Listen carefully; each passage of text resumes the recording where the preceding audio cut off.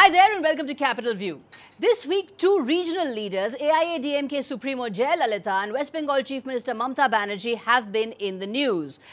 Jayalalitha has been acquitted in the assets case by the Karnataka High Court and Mamta Banerjee, the West Bengal Chief Minister, has been seen to be engaging in cordial talks with Prime Minister Narendra Modi. We're asking the question, are these two regional satraps now going to be important in national politics? And is Prime Minister Modi going to be forced to reach out to regional leaders more than he has been in the past? Joining me on that question, senior journalist Veeraraghav, uh, political editor of The Hindu, joining me from Bangalore, senior journalist R. Mani, joining me from Chennai, and here in the studio, editor of ABP, Jayanta Ghosal, and senior journalist Kalyani Shankar. Thanks everyone very much indeed for being here.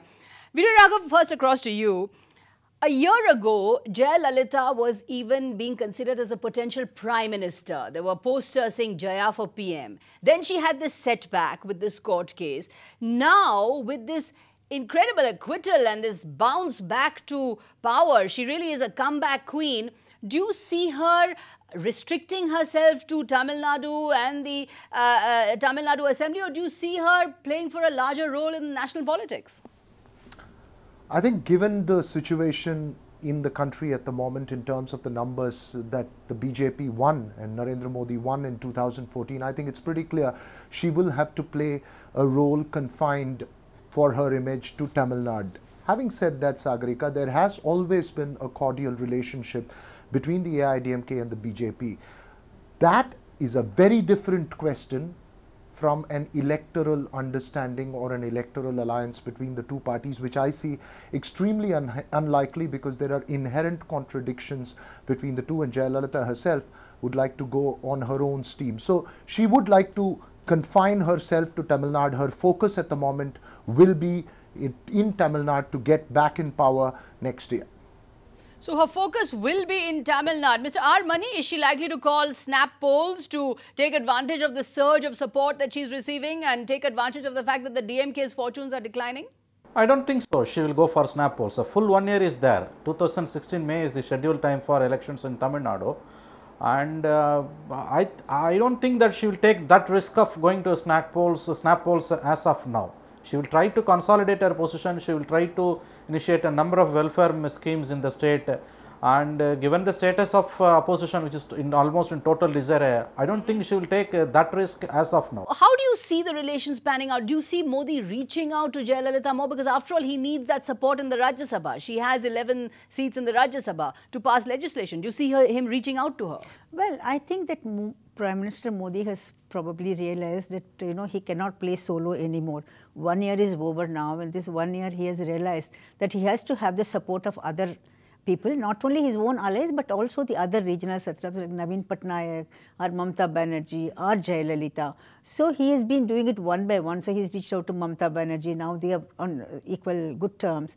And then Jayalalitha, he's always been very friendly with her. But then this case was a problem, so he couldn't directly talk to her. And uh, now he will be able to talk to her very directly and also through the emissaries they were talking to each other. Now that problem is gone after the acquittal. So I am sure that they will both, uh, uh, you know, be on very good terms. But the one problem which Modi will have to solve is what do they do about Tamil Nadu? You know, right. the BJP has been very ambitious. To be a political competitor in Tamil Nadu, then how can you uh, count on uh, Jayalalitha support? It's the same thing in uh, uh, Bengal, isn't it, Jayanta Ghosal? I mean, we saw this week this big reach out by Narendra Modi to Mamta Banerjee, uh, particularly after those, all those Saradha scam cases and all of that. And we saw Mamta also uh, being on very cordial terms with Narendra Modi. So how do you see that relationship playing out? What's, what's happening there? Sagarika, it's a new chapter. And if you can remember, I, I mean, I, I can remember that Narendra Modi actually consistently he was soft towards Mamta earlier also. Mm. And after the hat trick in Gujarat, when uh, the oath taking ceremony took place, Narendra Modi wanted Mamta Banerjee should come. And he wrote a letter to Mamta Banerjee that time. Mamta could not go. Mamta sent somebody to Akhilesh, mm -hmm. oath taking ceremony, but not Narendra Modi. Narendra Modi requested you can send somebody else, but Mamta was not ready to send. But Narendra Modi again in UP, he compared before election that Mayawati and Mulayam you should not compare with Mamta because Mamta fights for her own state, not for personal agenda. Right. But afterwards, the state BJP thought that it's a polarization of politics, and if you don't go against Mamta, then the political benefit, the political dividend, BJP cannot get. Because the BJP President Amit Shah went to Bengal and said, I want Exactly. to uproot the Trinamool from the state. So the inside BJP, the prevalent line was, the Amit Shah's line was that we have to fight. And I took an interview, I talked to Amit Shah. Amit Shah said that Prime Minister can meet Mamta Banerjee uh, 100 times. Center-state relation So can you're saying continue. there's a personal But kind of warmth between yeah, the two of the- them. the- the- this time especially, Sagarika, Narendra Modi told several people after this meeting that she is sincere, she is nationalist, she is a doer. Vinod Raghav, t- you know, Jayalalitha, the ultimate comeback queen, is she has she really attained cult status now in Tamil Nadu? The challenge here for her, Sagarika, will be uh, now, first, after she comes back as Chief Minister, there has been a perception that in the last seven months, the ship has been sort of not very stable in terms of performance. Now, she will have to uh, uh, deliver uh, from uh, the AIADMK an image of having performed in this term as, as, as chief minister. And that's got to be crucial for her. And that would be priority number one for her after she comes back. And then Right. uh, as, as it's been pointed out I don't think at the moment it would be a little far-fetched to make a speculation on an, a snap poll. There's still time uh, till next year on that Right, and of course for the DMK, Mr. Mani, uh, this is not good news because if uh, Jayalalitha had not been acquitted, if she had been debarred from contesting, uh, then the DMK could have uh, rested a little easy. But now it seems as if they're going to be consigned to the uh, to oblivion. Is the DMK now seriously worried with Jayalalitha on the comeback trail? No, I won't call it as they are going for an oblivion, but certainly, as you uh, you are you are right that they are down and under. After all, the 2G verdict is expected in three to four months' time from now, and the party was not able to win even a single Lok Sabha seat. Uh, in fact, they have put all their eggs in one basket, which is the uh, uh, the verdict in the Karnataka High Court, which actually went against their own wishes. They are actually struggling nowadays to come to grips with the uh, yesterday's development. She will also ask for her pound of flesh. She will ask more money for Tamil Nadu. The, the other parties are, will talk about fisherman issue with uh, Sri Lanka. Then Kachativu, is, which is another one of her favorite thing. And also uh, Sri Lankan Tamil issue. See, these things, she will harden her position. And Mr. Modi will not be able to ignore her now. See, all these days he was just going ahead with this. He will but not be now able to ignore her. ignore her uh, demands and whatever resolutions they pass in the assembly, all that. And he needs her. And He for Sri Lanka policy, she will play he a bigger needs her role. support. So that's the quid pro quo, isn't it, Jayanto? But that you need Modi needs support for Yeah. GST. Modi needs support for land acquisition bill. Exactly. So he can't afford to alienate the state satraps anymore. Yeah, Sagarika, Exactly. one more point I want to say. She will assert herself in the national politics now. She will. With her 37 MPs in Lok Sabha and 11 MPs in Rajya Sabha. So her role nationally also will increase now with her comeback. And as you say, she has always had a personality cult. Uh, she has built around her, like her mentor MGR. Mm-hmm. So that will become much more now.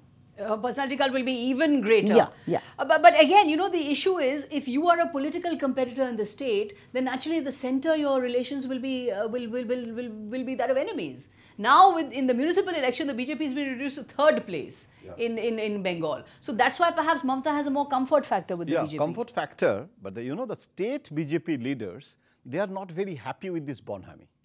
Uh-huh. This is a very interesting thing. I remember when Narsimha Rao was prime minister and Mamta was fighting against Jyoti Basu's government. Right. And when Narsimha Rao, Jyoti Basu's relationship was good and Yeah. Mamta was unhappy. Right. So now the BJP state leadership is just like Mamta Banerjee's, the then Mamta Banerjee. Right. Now they are unhappy with the bonhomie of the center and state. Right. Because you know, if Rajiv Gandhi goes to uh, Jyoti Basu's house that time, Dasmunsi was upset.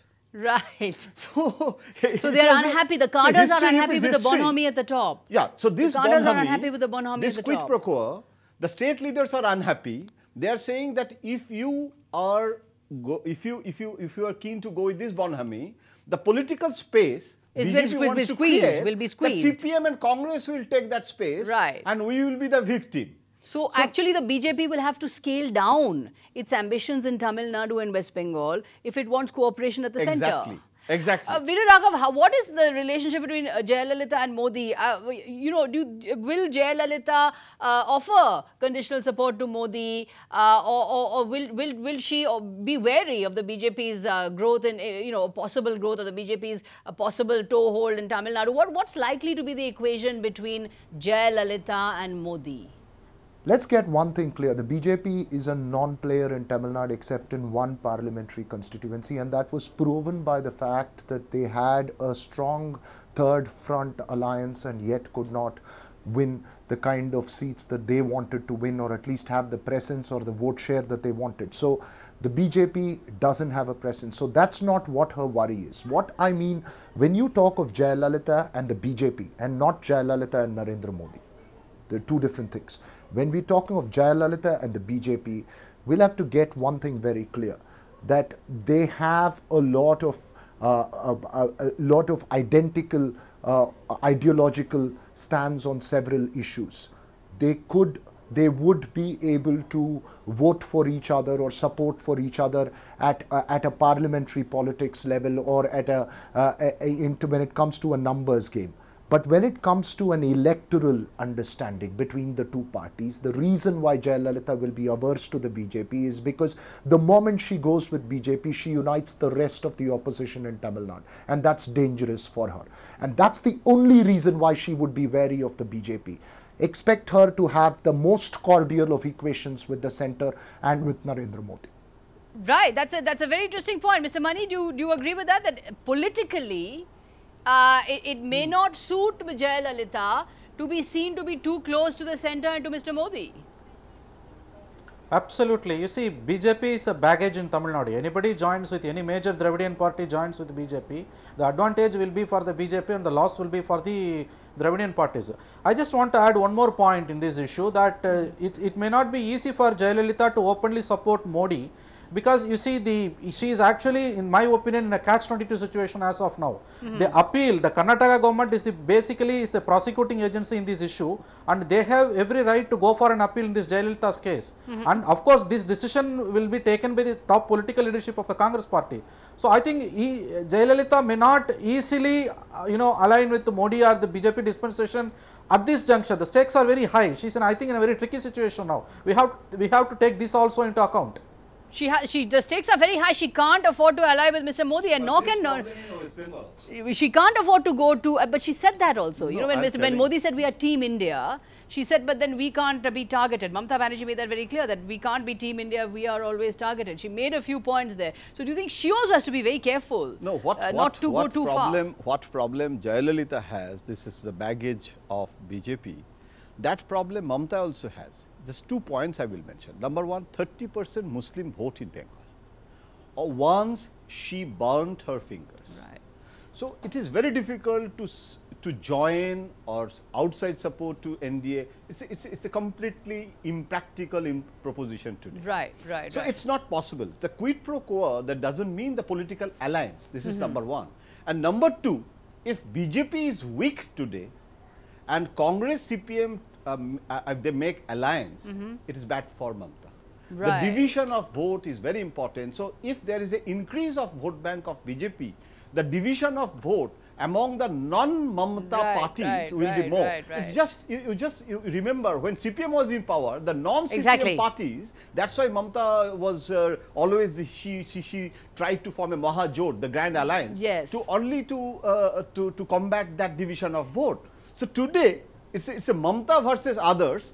And if the BJP is nothing today in Bengal, it's it's it's not good for Mamta. She can't uh, she can't afford to unite the opposition against exactly. her.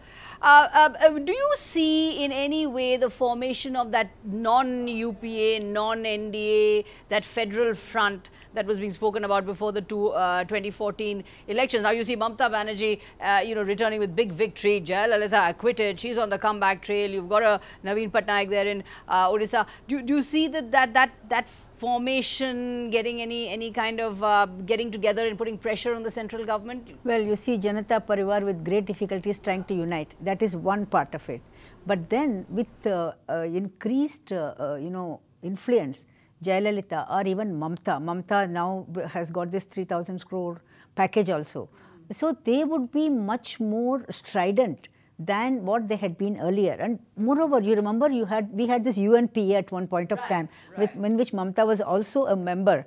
But sorry, Jayalalitha was also a member. But then because of the ego clash between her and Mulayam Singh, that didn't take off at all. So all of them are a personality cult oriented They're all personality leaders. cult parties. So, so personality to, cult for leaders, them like to, Modi, yeah, fact. then who would be the chairman? Who would be the convener? In this only that kind of front will break. So I'm very, they, but they will concentrate in their own states, like uh, Jayalalitha did last time. She caught hold of CPI, CPM, and the smaller parties. The arithmetic already she has the good arithmetic. Forty-six percent is there, but then she'll try to get hold of the smaller in, in case she wants to. But I my sense is she'll go it alone now. She uh, will go it now. alone. But, Yeah. the, but the regional leaders are increasingly going to be able to call the shots because Yes. they are such powerful forces in their own states. Let's take a short break at this point. We'll come back with lots more on the other side and ask whether Narendra Modi, as part of his ruling style, is going to have to reach out much more to the state chief ministers, reach out much more to the regional forces than he has so far. That's after the break.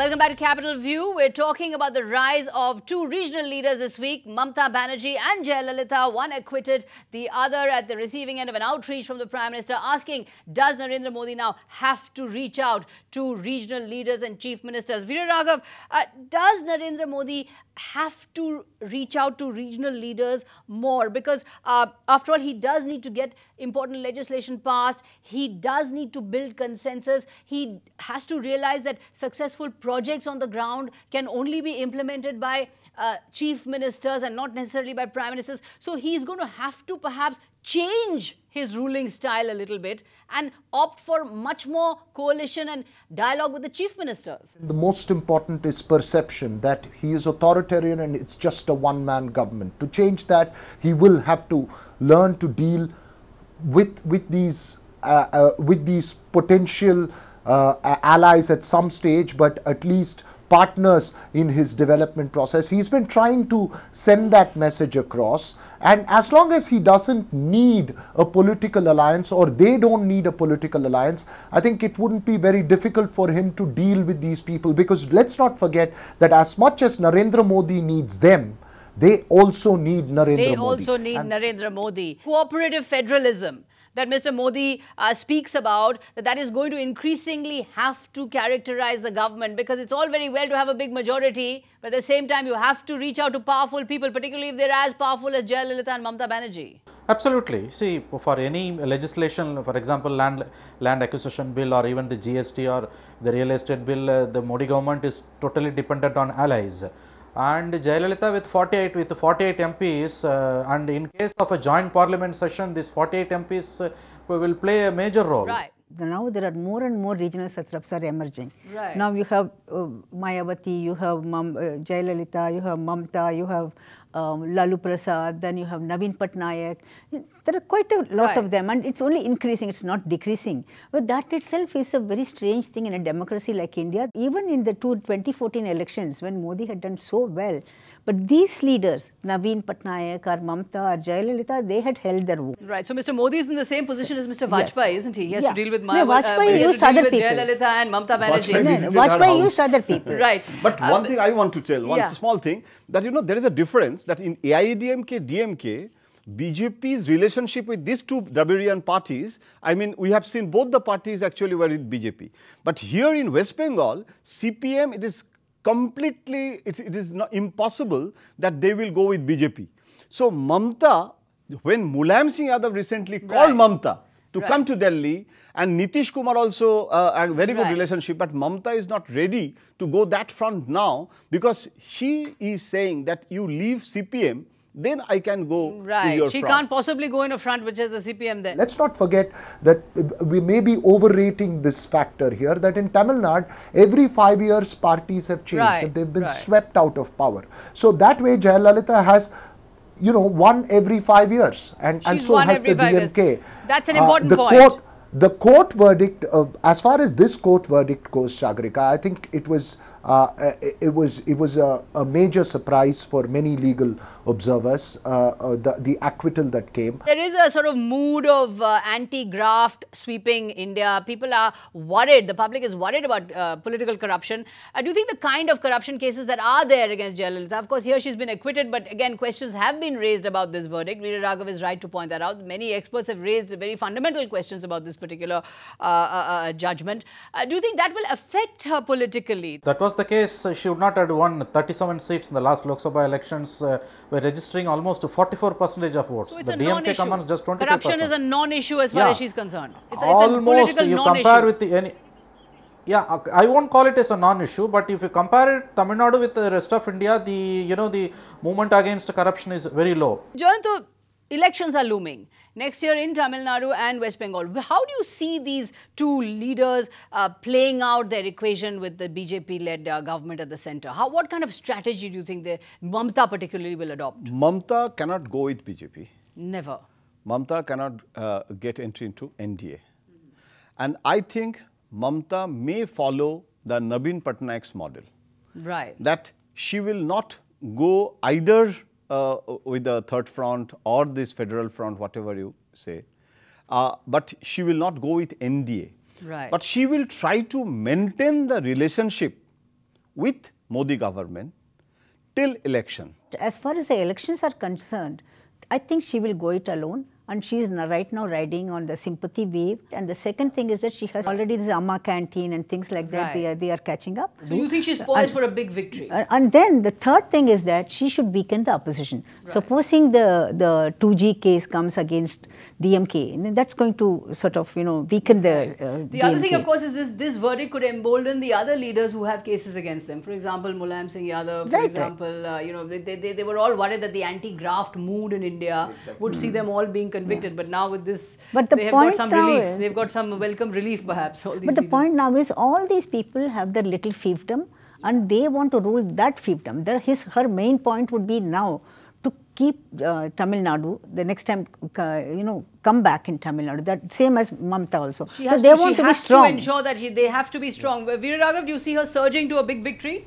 In the next well I, I, think it's too early to i think it's too early to predict that uh, at the moment. Uh, I, I think she will have to stabilize her ship there. There are issues with the administration in tamil nadu serious issues which needs to be addressed. Uh, you will uh, but mr mani do you, do you agree with mr mani that corruption is a non issue in, in in tamil nadu? Corruption Corruption has been a non-issue. What's the choice in front of the voter? You've got 2G, which uh, DMK stung right. by 2G, and it wasn't as if their government was very clean, the last mm -hmm. government. And then you have a non-starter of a third force with people like Ramdas and Vijaykanth who can't even hold a press conference uh, right. uh, uh, uh, with, with, with, with the basic level of dignity. What choice does the voter have? Right. What choice does the voter have, Mr. Mani? What what you do you think also that Jayalalitha is now heading towards a big victory in this uh, in the next assembly elections coming up next year? No, no, no. No, no, you can't, you can't uh, usually predict that. You see, okay. I'll just want to add one more thing that still one more year is there and uh, who knows that if this judgment will not be turned around in the Supreme Court. Right. One year is a long period. So, we have to wait for that also. I, I think this these results of 2016 assembly elections largely depend on, on two things. One is the 2G verdict and the likely outcome in the Supreme Court if the case is, if the appeal is taken up on a fast mode. Right.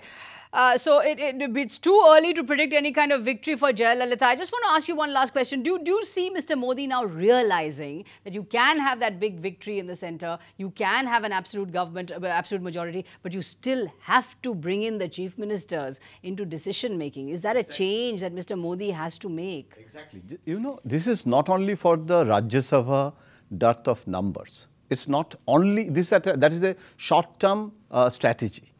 But the basic thing is that, that there is a growing perception that you have the mandate in the Lok Sabha, but you are ignoring the culture of political pluralism in our country. Right. So now Narendra Modi is trying to project himself that he is not anti-federalism. Right, he has to really he, make cooperative federalism more, work. More now the co cooperative federalism, that is the mantra of Akhand Bharat. Right. So, so, so the without the state government, center cannot be strong. Right. That is the new I mean, the Narendra Modi's new uh, that mantra. has to be his new personality. So, uh, in fact, you can have a majority government at the center, but when you have powerful regional satraps like a Jayalalitha, like a Mamta Banerjee, then however powerful you may be as Prime Minister, you're going to have to reach out to them. You're going to have to have dialogue with them. And that is perhaps what we're seeing the beginning of uh, it, with this particular acquittal of Jayalalitha and the outreach to Mamta Banerjee. Perhaps that's where the Prime Ministerial uh, campaign of Mr. Modi is now going to head. Thank you very much indeed to all my panelists for joining me. Thank you very much for watching Capital View. See you again next week.